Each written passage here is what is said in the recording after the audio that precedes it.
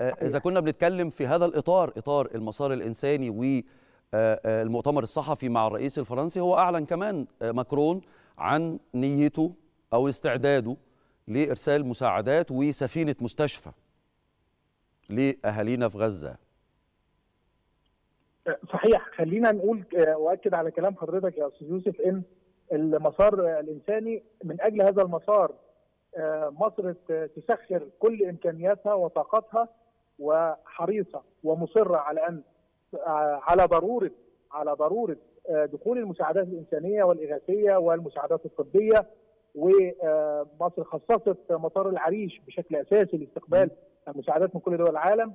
أيضا مصر كانت لها الأسبقية في مسألة الشاحنات التي تم إعدادها من التحالف التحالف الوطني الأهلي المصري فيما يقدر ب 1000 ب 1000 طن من المواد الإغاثية أيضا التبرع بالدم م. اللي تم إطلاقها استجابة للسيد الرئيس وتوجيهاته وكانت يعني تعتبر أكبر حملة للتبرع بالدم في مراكز كثيرة جدا وبيتم التعاون فيها مع بنك الدم المصري الهلال الأحمر المصري الكوادر الطبية المصرية مصر لا تتأخر ولم تتخلى وحريصة على ضرورة وصول المساعدات و حفاظا على حياة حفاظا على الأرواح وحفاظا على المصابين والتعامل مع المصابين والمستشفيات خاصة ان ثلث المستشفيات في القطاع الآن خرج عن الخدمة نعم. وأصبحت عاجزه عن أن تقدم خدماتها للمصابين والجرحى يعني أعتقد إن هو أنا يعني إحنا بنتكلم على مسألة المسار الإنساني تحديدا وبنأكد عليها لأن هي دي نقطة مهمة جدا. يعني حتى في ظل المباحثات والمداولات والجولات لا يمكن أن نغفل للدور الإنساني وأهمية وصول المساعدات. إذا كان في هناك أصوات وأصوات يعني ضعيفة أو قليلة جدا بتقول إن هو المساعدات هتدخل إزاي لأصلا منطقة منكوبة وهتعمل إيه مع مع الوضع الحالي. لكن هو طبعا ما ينفعش أبدا إن إحنا نتخلى عن دورنا الإنساني ومصر هي الأولى في واجهة الاهتمام بهذا الأمر الأمر الإنساني ومساعدة أهالينا في غزة بكل الطرق كمان.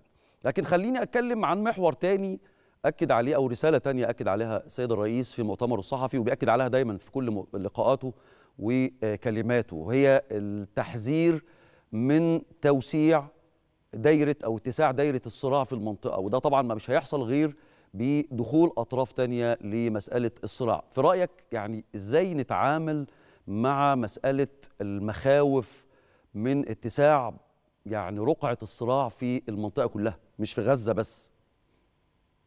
الحقيقة إن إن الوصول إلى عملية تهدئة ووقف إطلاق فوري للنار حفاظا على أرواح الأبرياء والضحايا والمدنيين. م. أعتقد إن هي مسألة ضرورية الآن اولا. وده مصر بتعمل بتعمل في نطاقه وفي إطاره بقوة مع الشركاء الدوليين. م. أعتقد أيضا إن الصراع يجب أن يتسع لأن المنطقة لا تتحمل كثير من الفوضى. وبالفعل هي المنطقة تعاني وشعوبها تعاني منذ 2011 حتى الآن. وبالتالي ليس في مصلحة أحد أن تتسع دائرة الصراع. أعتقد أن استهداف الجنوب اللبناني واستهداف الضفة الغربية من سلطات الاحتلال والقصف واعتقال أكثر من 800 مواطن فلسطيني من الضفة ويعني ما يحدث من مناوشات وما يحدث من قصف وما يحدث من اعتقالات.